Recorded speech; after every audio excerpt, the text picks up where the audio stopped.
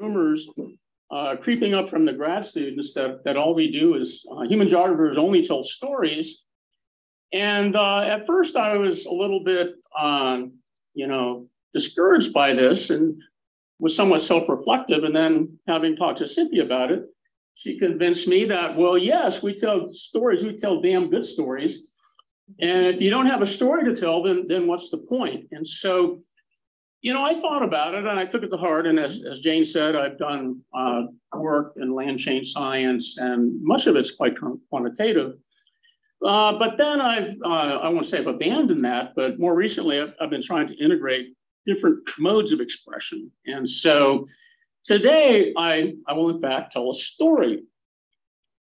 And uh, let's see, where do I go from there? It says the, the title of my talk apocalyptic species is taken quite explicitly from a book written by Craig Childs entitled Apocalyptic Planet Field Guide to the Future of the Earth. And it's a book that I use in my class on environmental catastrophes and, and tipping points uh, to get across a viewpoint that some people will tell us that the Anthropocene isn't such a bad thing. When you really look at the geological record, because, well, a lot of bad things have happened. We've had uh, collisions with asteroids, of course, there's subduction, there are tectonic shifts and plates and continental drift, all kinds of stuff.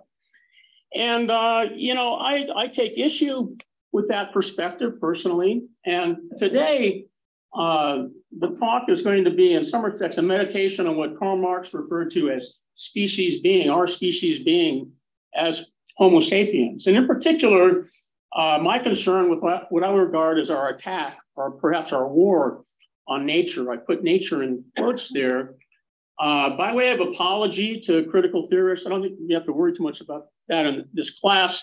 Uh, I am going to posit what would be condemned as a nature culture binary. Uh, now, because I'm going to lament the loss of nature, and in particular, uh, the loss, uh, the, the lamentation that began with the Romantic poets in England, Jane.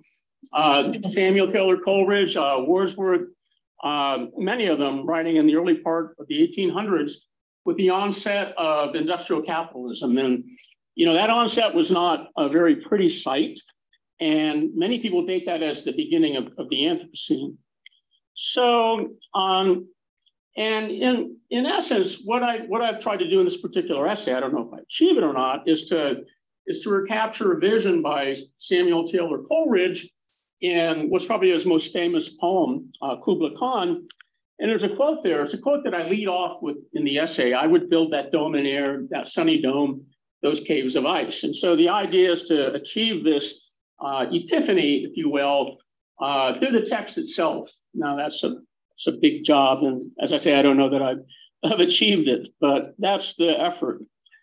Now, the background to the talk today is a trip that Cynthia and I made to Patagonia this past January. And uh, by the way, all the photos in here are photos that we took.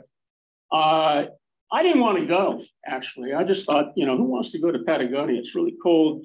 Uh, you know, I've seen everything there is to see in Amazonia. You know, who, who really cares? Um, so that's partly the background of, of the talk today. There's some other elements of background that I, I didn't get time to, to put into a slide, but I'll, I'll go ahead and just mention, mention them. Um, in, in the talk, in the essay, there'll be reference to a lot of things that you probably won't be familiar with. Certain species of, of uh, trees and plants, for example, uh, that you would observe in certain parts of, well, the Southern Cone, but also in, in Amazonia and certain peoples as well. And in particular, one people that uh, a pre-Incan civilization in Chavin de Huantar, which is on the eastern slopes of the Andes in, in Peru.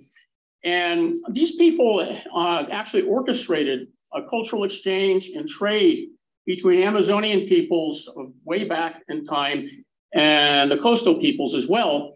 And one thing they're noted for is they dug caves into the Andes Mountains ran water through the, the caves to produce, and I don't know how they did it, but sounds, which they then uh, turned into a type of deeply watery and fluted music, which they used in conjunction with hallucinogenic plants uh, to actually terrorize the people who visited their, uh, their place and convince them to pay tribute. But they will figure in, in the talk today. And uh, I don't know if this one will work right here. Now, a, a, couple of elements, and these would be lost on you. Does anybody here know David Nuuhiwa by, the, by, by any chance? Uh, David Nuuhiwa was the great nose rider, surfboard nose rider of all time. Uh, and he was quite famous uh, before the shortboard revolution, which came in the late 60s. And so he figures in here, and I guess this is when I need Steve's help to bring up that other, well, maybe it works here. Yeah, I won't play the whole thing. This is David Nuuhiwa hanging 10, which you know,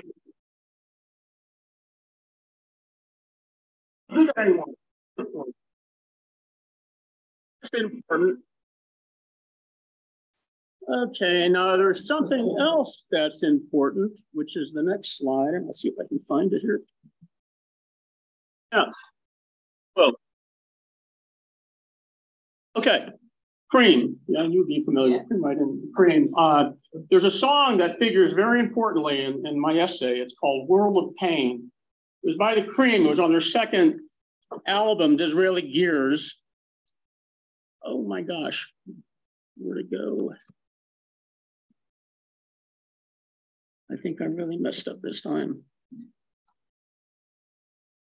One more help. okay, and then I'll be done. I think then I'll, I'm trying to get back to that. I wanted to play a little bit of the song. There, okay. So this is it.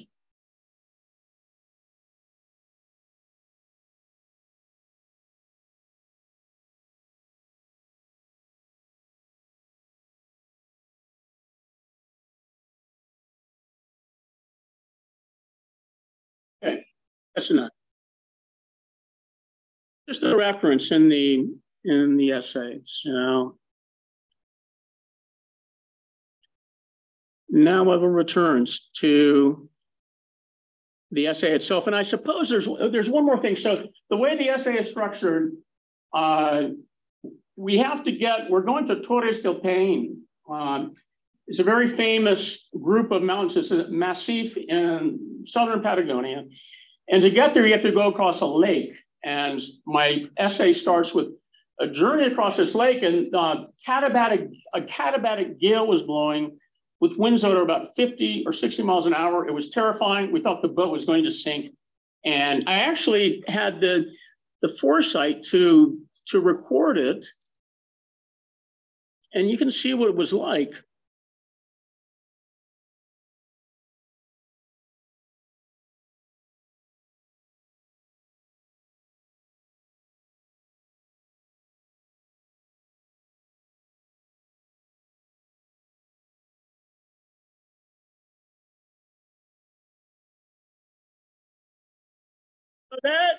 Background. And we will get serious now. Yeah. No, we were too frightened. Laughing at first and then. Okay. So there we go, Lake Pehoe. Cindy and I boarded the catamaran, sitting near the bow where steel holes joined beneath a deck of plexiglass. We were on our way to the trail for Torres del Paine, Chile, a 20 minute boat ride away. The wind was blowing, and as we got underway, tornadoes of spray seemed to boil off the surface of the lake. Our vessel took it in stride, or at least it seemed to, riding the swell with the ticklish up and down of a roller coaster. Then, boom, came the smack of something heavy smacking water. Our engines quit. We drifted before the tempest, listening to starboard as waves washed over the deck above. Were we going down? And if so, can we make it to shore through the frigid water? Cynthia nudged me and drew my attention from morbid thoughts to a pristine morning in the Paine Massif, chiseled by diamond sunlight and a sky of baby blue. It seemed the immediate expression of raw molten power in the vertical ascent of its jagged peaks, the toothy gaps and valleys cut by pounding streams. When I first saw them upon arrival, this outrageous collection of geologic forms, otherwise known as mountains, I couldn't help but imagine they were about to fall over, or blast away or simply vanish as a figment of my imagination. Mr. and Mrs. US, beautiful, isn't it? It was our guide, Marcelo, a tall man with a thin face whose gaucho cap had known better days. He'd taken to calling us this after I told our group, a Brazilian couple, two Colombian sisters, an Argentinian guy, and two US citizens, a joke, a Brazilian joke about a gaucho and a caiman in the swamps of the Pantanal. So, Vanya, do you know that joke? No, It's a terrible joke. Okay. Evidently, he heard it before and was not flattered. I'd spent years on Brazil's Trans Amazon Highway in the company of agronomists, not well schooled in social niceties. I bore their cultural imprint. Yes, it's amazing, I said, hoping he'd linger for conversation. But after two days, he was still irritated with me. Upon checking to see we were okay, he returned to where he'd been sitting astern. Okay. Torres del Paine. So this is, we get across the lake, we survive, and we start up the mountain. After stowing our gear in already pitched tents, we headed for the trail, which paralleled, which paralleled the Ascension River. Two hours later and 3,000 feet higher, I stopped to catch my breath and looked back through the gigantic V of the valley. Lake Pehoe gleamed in the distance, an aqua-colored swatch amidst gently rolling tableland. Here on the trail, I stood circled by a Stonehenge of rocky spires and sunlight burning with bronze intensity through a yellow blue sky. I grabbed my camera from my backpack and started taking photos, but soon heard shouts barely audible in the wind. Come on! Cynthia calling from down the trail. I put my camera away and hurried off. Our group had disappeared in a green wall of forest slanting down what was now a fully revealed mountainside. We reached it in 15 minutes, and another 15 minutes found the meeting lunch in a grove of old growth southern beech trees. It was a lonesome spot with scattered deadfalls, some of it heaped on legs of desiccated wood and skeletal jumbles like bones of prehistoric beasts that had died in their tracks. In places rose bushy trees with balls of false mistletoe whose yellow-green foliage stood on end as if electrically charged. Rip Van Winkle beards of moss sagged from the branches, giving the place a weird sense of supernatural habitation. Marcelo informed us we'd become burdensome, although he expressed this politely. As I really wasn't that committed to the trip, I volunteered to remain behind. Cynthia said she'd stay with me, but I refused because I knew how important it was for her to reach the Torres. So off they all went. Several took advantage of my decision to hang back and left their extra weight with me. Once I found a place to put the group's odds and ends, I sat down back against a beech tree. Gems of sunlight filtered through the canopy to flicker on the forest floor, where entanglements of tiny roots stitched the ground into a mat that was spongy to the touch. I barely closed my eyes when they twitched open. It took a moment to remember where I was. My watch said 4 p.m. I dozed for an hour. I stood to stretch, noticing that the trail to the Torres crossed an opening in the forest just a few yards distant.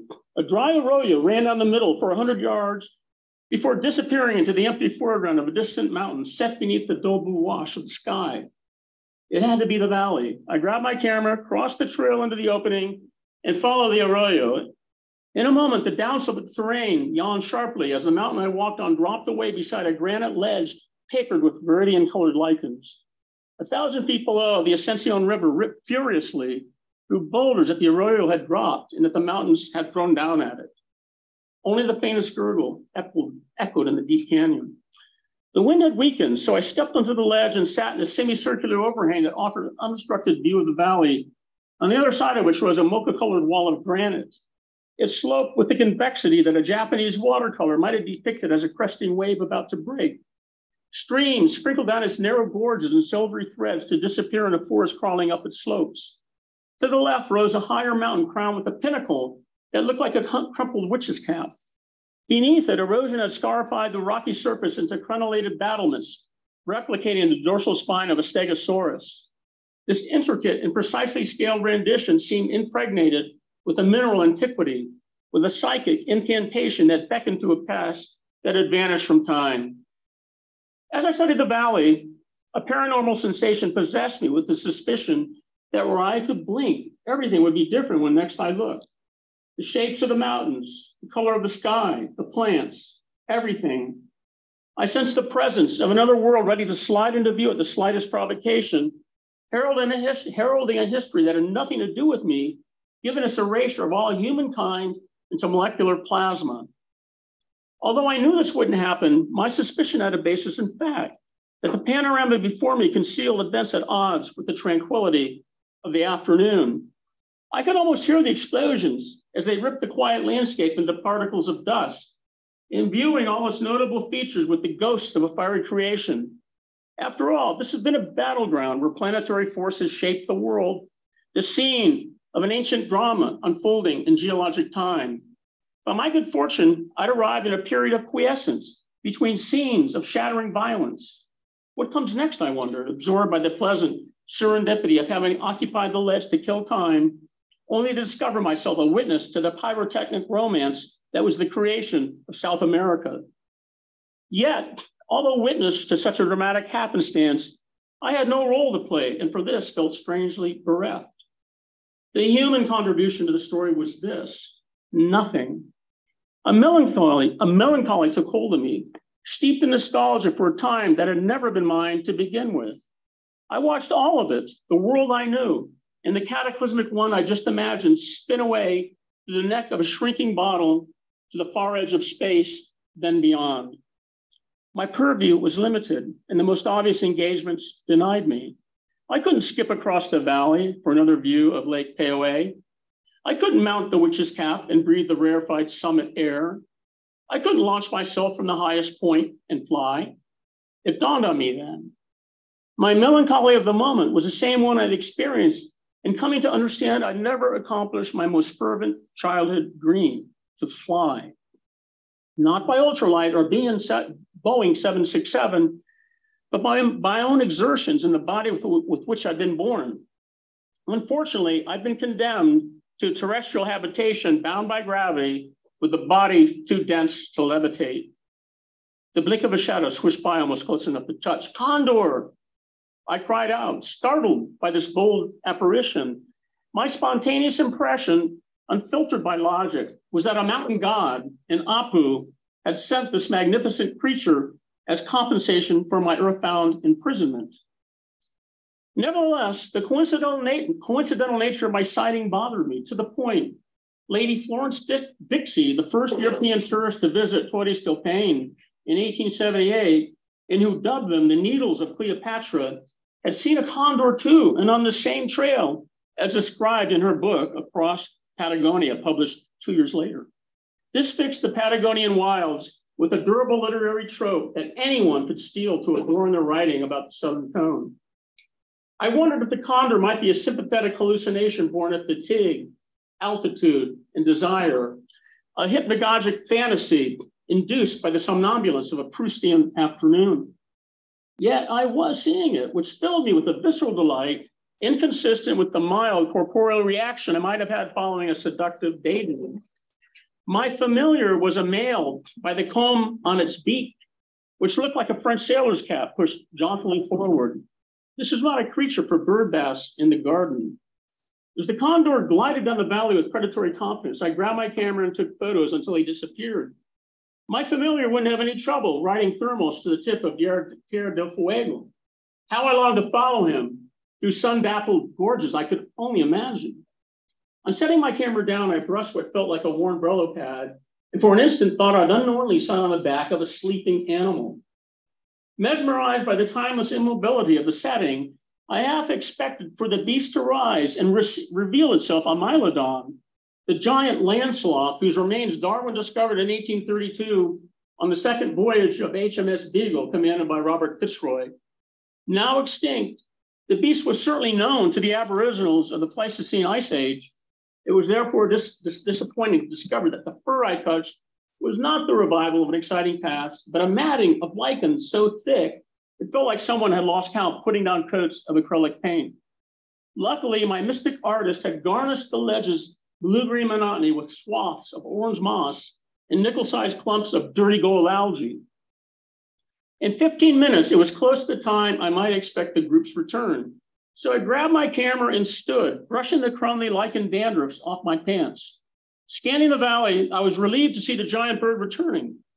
I wondered if it harbored any atavistic recollections of the ice ages his tribe had endured, of the volcanic upheavals and violent subductions, the ordinary catastrophes of an apocalyptic planet had nearly wiped the condor out on more than one occasion.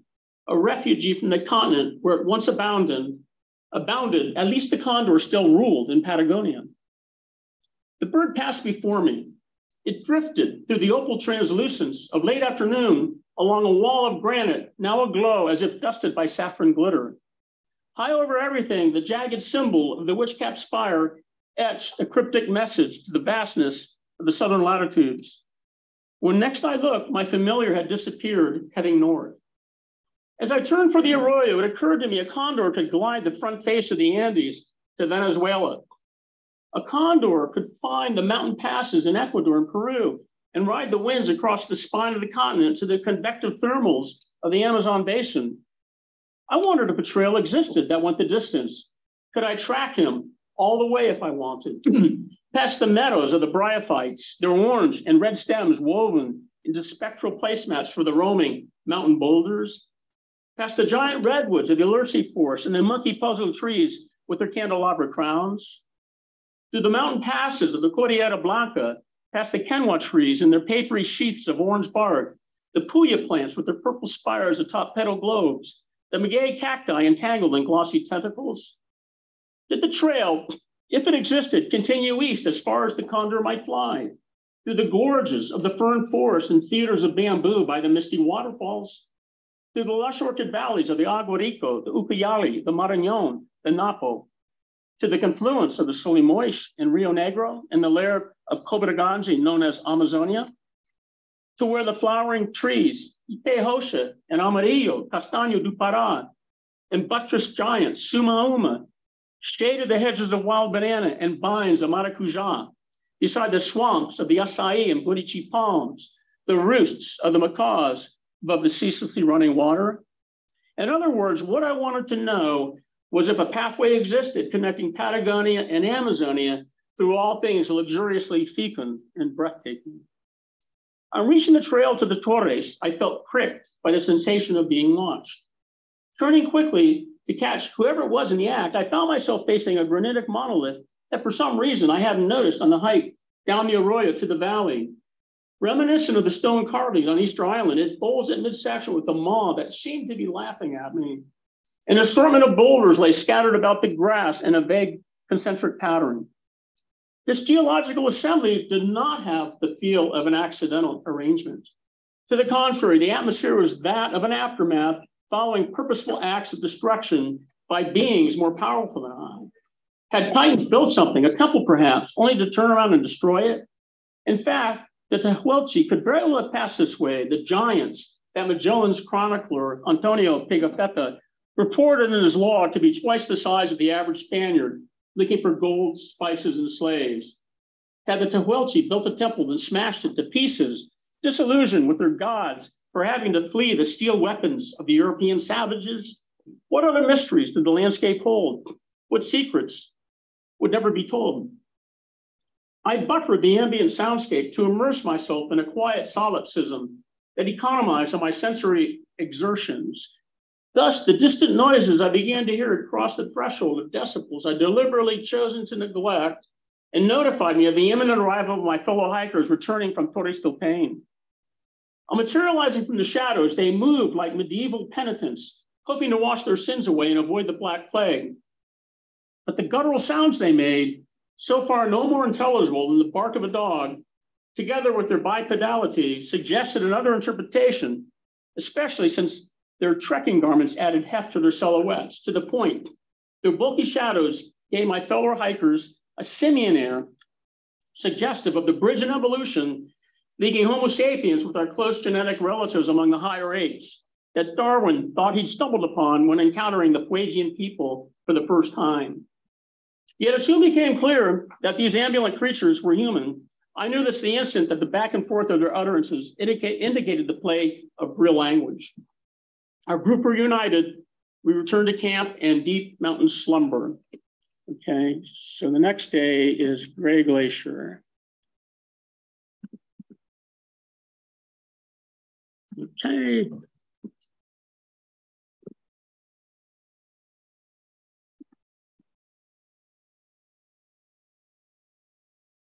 I think maybe doesn't seem to want to advance.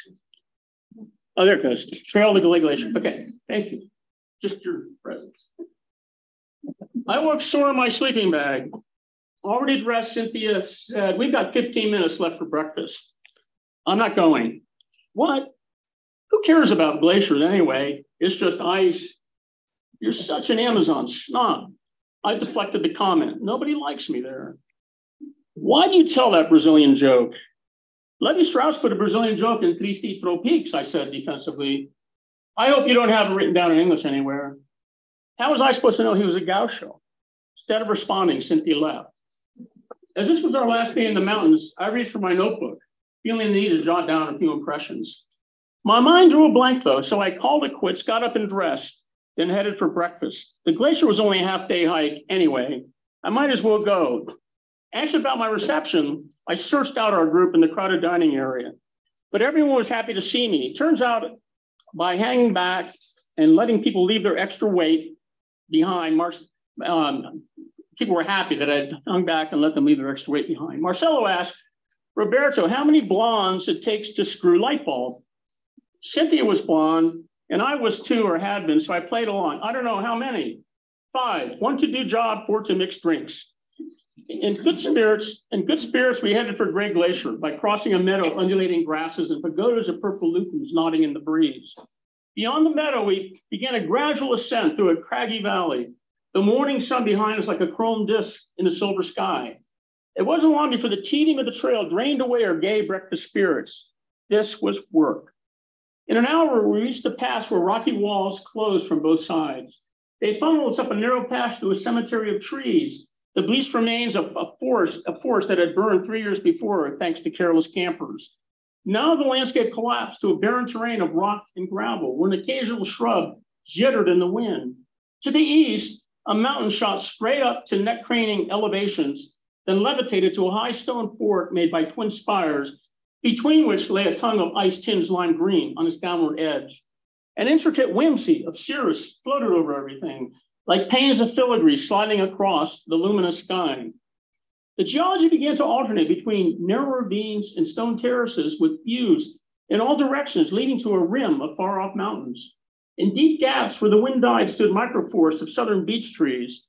Low stature from the climate and exposure, their girthy trunks bore the markings of age with thick reams of fissured bark. Their woven nets of foliage shaded tiny meadows that glistened in the mucks formed by seepage bubbling from wet rocks. After 15 minutes resting on mossy logs in one such refuge, we resumed our trek to the glacier. We'd been on the trail for two hours, during which time the wind had gained considerable strength. On the trail again, we walked with our shoulders stooped, like Mongolian merchants in a Tibetan blizzard. I stopped to tighten the straps on my backpack and became aware of a sound that penetrated the howling of the wind. It was subdued and vibratory, possibly seismic. Worried by this, I studied the immediate environs. My eyes came to rest on a lone beech tree growing from the stones 20 feet off the trail, its scraggly crown dancing in wind driven hula hoops to the hypersonic thrumming of its leaves. It was the tree. On watching the beech's savage dance, I imagine what would have happened if, in an alternate reality, I'd plot, I'd have plopped, I'd have plopped Earth near where the tree stood, a motherless infant without a home. The wind would have seized me, dribbled me here and there, a soft pink basketball at the mercy of the hostile elements. With luck, I'd have been mistaken for a baby beast and gathered up by a female mylodon to be nursed on her ample breast, protected from whatever predator might have come for me. Most likely, vultures would have arrived in minutes to peck my eyes out. There was no denying that the lonely beech was a survivor. I remembered a song, okay, here's the song, uh, that impressed me as a surfer whose psychedelic empathy included feelings such as those I was now experiencing. Before she shot and killed him in a jealous rage, Gail Collins and her husband, Felix Pappalardi, had penned a tune for the Cream on their second album, Disraeli Gears. The, the lyrics of World of Pain rushed to my brain as if to compensate the oxygen the wind now sucked from my lungs. Outside my window is a tree. No time for pity for the tree or me. Is there a reason for today? No time for pity for a growing tree. My appreciation of this song, still intact after all these years, was based on a misunderstanding of the first line, which for a long time I thought to be rendered as outside my window, he's a tree. Later in life, I wondered if Heidegger would have written Being and Time had he come from South America. Had he been raised a speaker of Spanish or Portuguese, he'd have internalized the rules for using the verbs for be, namely ser and estar. Consequently, he'd have known that to be has precise meanings in particular contexts, and therefore a multiplicity of explicit definitions. As such, it didn't require a great mind to excavate its protean meanings because they've been sketched out a priori. Although I didn't read Heidegger until long after the Cream exited the pop scene, I did what he probably would have done had he, had he been a smoker of marijuana, with the surfer's predisposition to the inventive use of language at the limit of grammatical convention. I suspect that he, like me, would have found it difficult, as many did, to understand what the Cream were singing, given the extent to which electrical guitars drown out voices in much of their work. Don't forget, this was Eric Clapton's catapult to the high wire competition with Jimi Hendrix and Tim Thicke for being the best guitar player of all time, at least as the Rolling Stones saw it. Consequently, Heidegger would have had no choice but to interpret the lyric according to his own preconceived view of the world and guess as to the Cream's intentions. One strong pull on the bong would have provided him with the same uplifting inspiration that led me to the permissive rendering that added the pronoun he to the lyric. My bet is that Heidegger would have dispensed with the straitjacketing use of is as a mere locational reference. In retrospect, what's odd to me is that once I knew the correct phrasing, I preferred to remember the song the wrong way. Why? I'm not exactly sure. It could have been the atmosphere of the time, the psychedelic sense that the world isn't a landfill of inert substances dumped into predetermined labels but rather an efflorescence of interacting signs redolent with joyful meaning. Alternatively, my stubborn misremembrance may have simply been I didn't feel like recalibrating downward my very high estimation of the band. After all, it was I who made the mistake. As I gazed at the beech being thrashed by the ferocious wind, I realized that my misunderstanding had given the song philosophical content I've never fully appreciated before. In particular, because I transformed the tree into an active subject, it no longer need be seen as something merely decorative that good fortune had placed outside the songwriter's window, to be pitied as they pitied themselves. Rather, the tree in the song, any tree for that matter, possessed sentient being. With apologies for the gendered nature of my original formulation the lyric, with all the rights of existence thus vested, the biological implication followed. Trees were equal partners in creation, mirror entities sent down a different evolutionary pathway than mine, one that had given them great powers of resistance. Despite my admiration, it saddened me to know that my botanical sibling had been abandoned on the side of a heartless Patagonian mountain. Its true home was Antarctica. Same with the others back in the ravine. They were all members of an ancient tribe that rose in the late Cretaceous before the cataclysm of plate tectonics set them drifting with the continents, a diaspora of evolutionary orphans. Like the condor, the southern beech had been torn from its native land by an apocalyptic planet, made a refugee with no home. Kicking through loose gravel, I stepped from the trail and started for the tree. I'm not sure why. Only that I was responding to an inner prompting I couldn't resist. I suppose I wanted to stand beside it as, as if doing so might show my empathy and admiration, or prove in some way that I understood, even though I could not have said what it was I understood. But halfway to the tree, I stopped as a contrary thought emerged. My actions presumed a beneficent sentience on the tree's part, which made sense from an animistic perspective, although unrealistic from my empirical experience of the world. But even if the tree was conscious of my approach, there was no guarantee it would welcome me and acknowledge my empathetic intentions. Just because I thought we were mutually sympathetic co inhabitants of the same planet did not make it so. The sad fact being, I wasn't like the tree or the condor. For one thing, my species was of a more recent origin. Yes, we've been orphaned on occasion, forced to cross continents to survive. Yes, we'd suffered earthquakes and landslides, predation and starvation, but we were different in a fundamental way. Unlike the condor and southern beech, we mostly fled from disasters of our own making as refugees from what we deliberately destroyed. The condor and southern beech will probably soon cease to exist because of us. There was no escaping who we were, the apocalyptic species. What are you doing? I turned to see Cynthia waving at me. I waved back, then hustled to catch up with her. Together, we followed the rest, strung out in a single file, fighting the wind.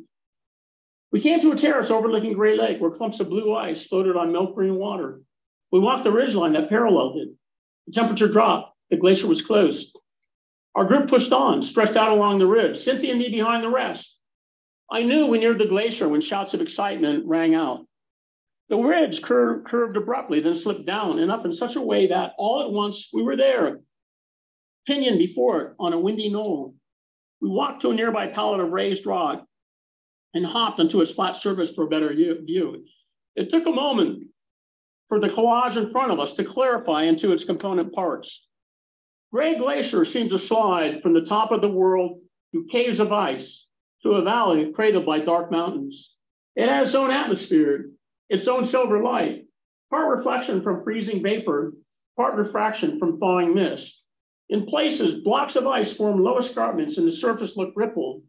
Sooty crevices paralleled the rocky shore. Directly before me, the waters of the lake lapped the glacial boundary, a ragged jaw of blue ice. The wind roared and everything was still. I looked up the glacier to a river of frozen snow mantling the valley.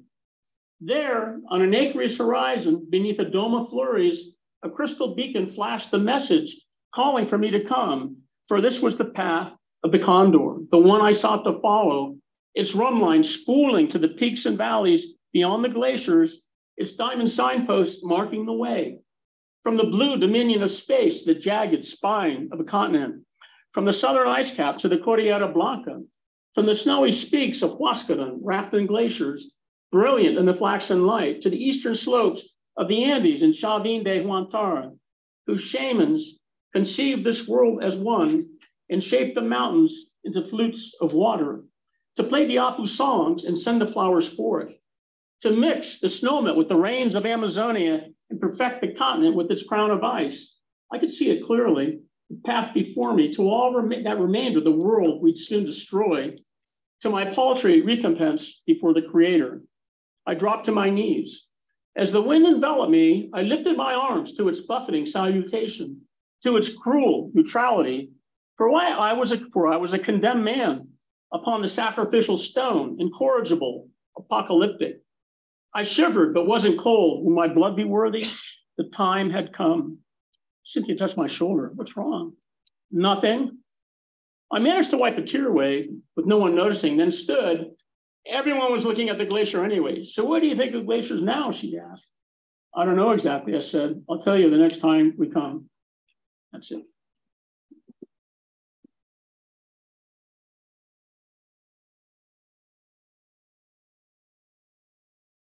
We can ask questions about it. Your next trip one We tried to go down immediately afterwards, but we couldn't get a flight. Why didn't you want to go? Why did she have to twist your arm? I, I, I had no idea, you know, uh, maybe I was just lazy. I, I like going to tropical islands. we, we had a trip planned to go dive with the great white sharks, uh, Guadalupe Island, but then they canceled it. So we went.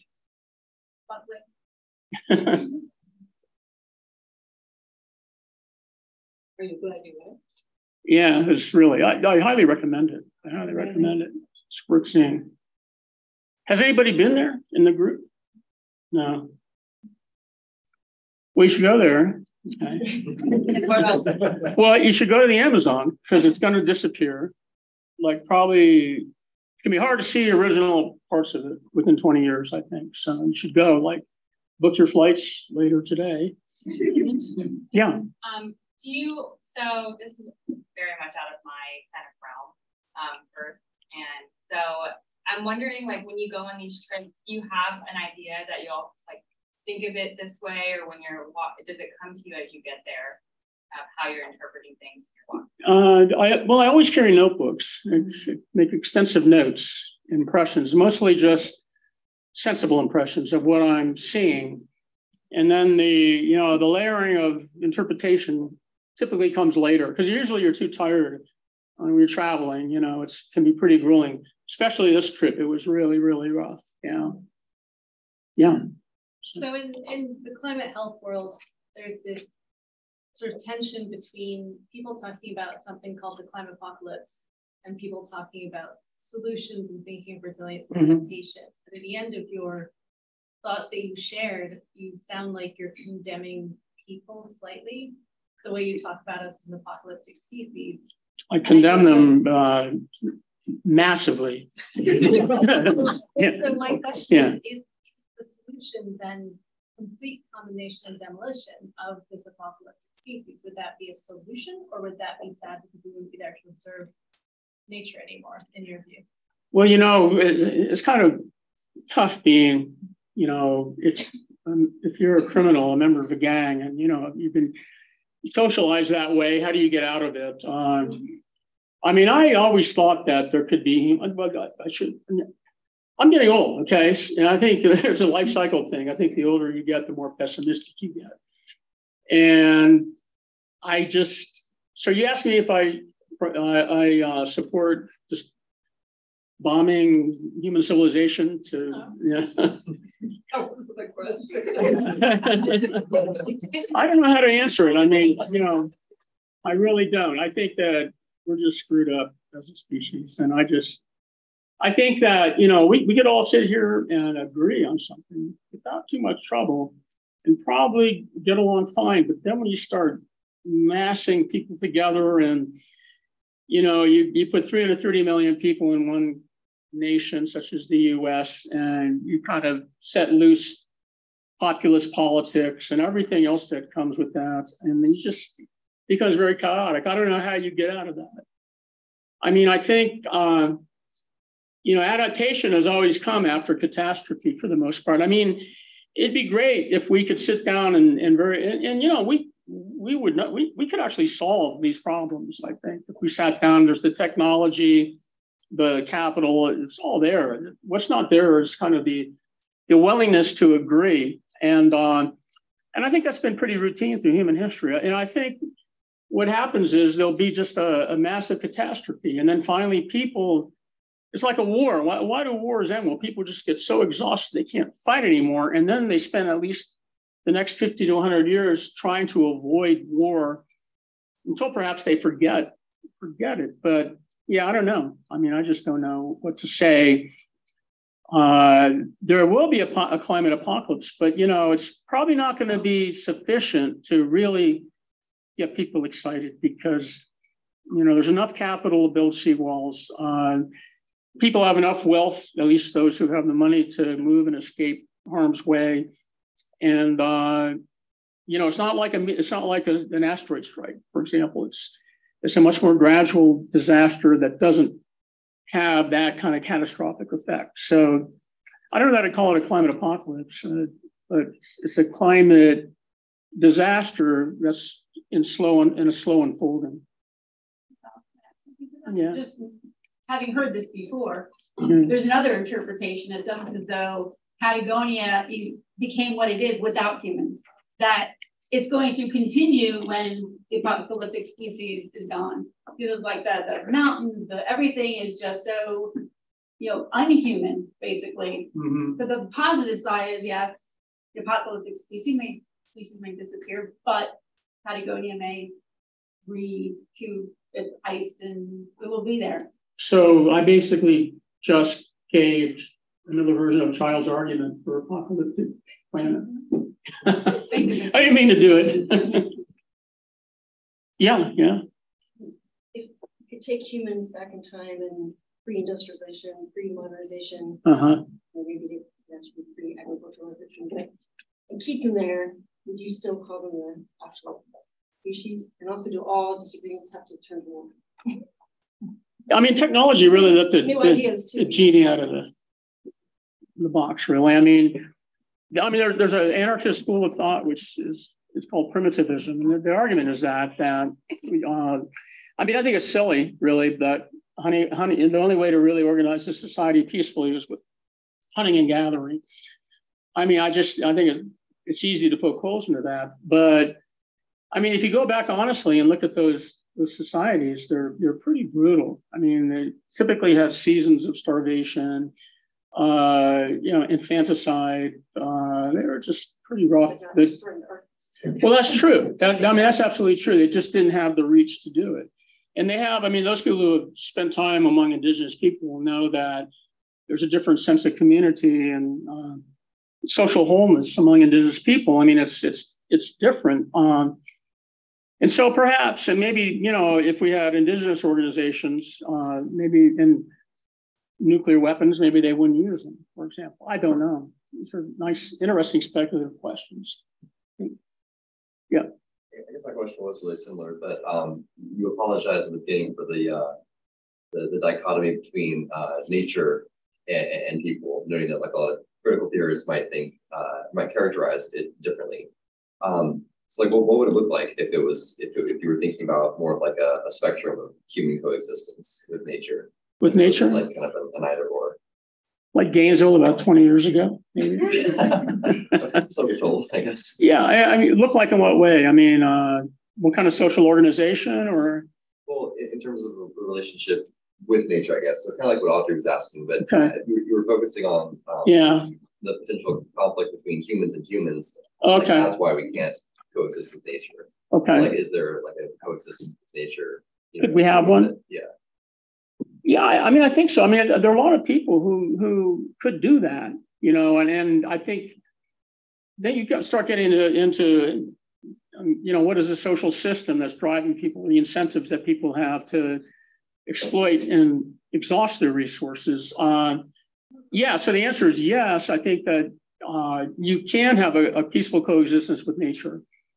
Uh, the difficulty is, and I, you know, it's interesting because a lot of people in, well, in the U.S. in particular, I'm very sensitive to this working in South America because Americans are always kind of pointing to wherever Brazil or Peru and look at how those people they don't know how to manage their resources and look how great we do. You know, look at Florida; it's a disaster. I mean there's no more old growth cypress anywhere. They're very, it's very hard to find natural bodies of water.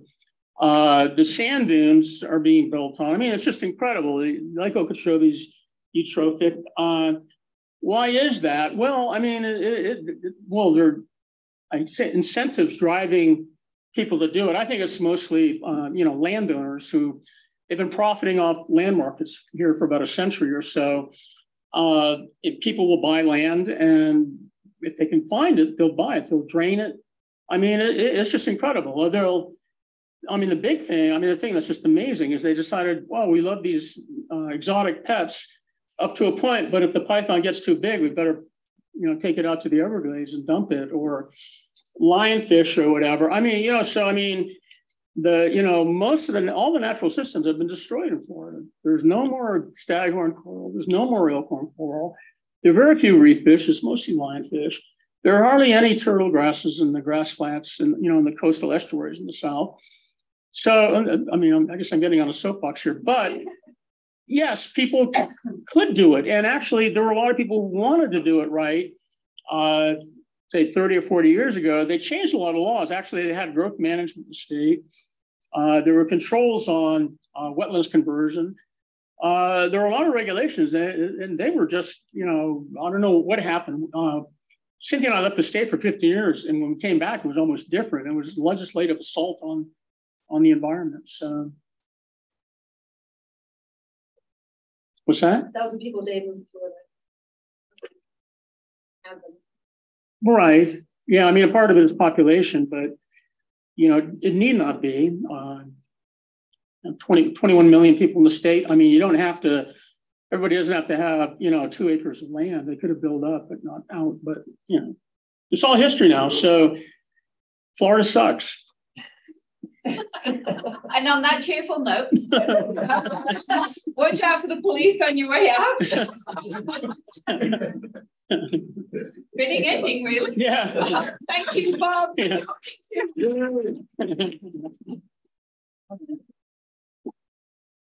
I promise to give a positive talk next time.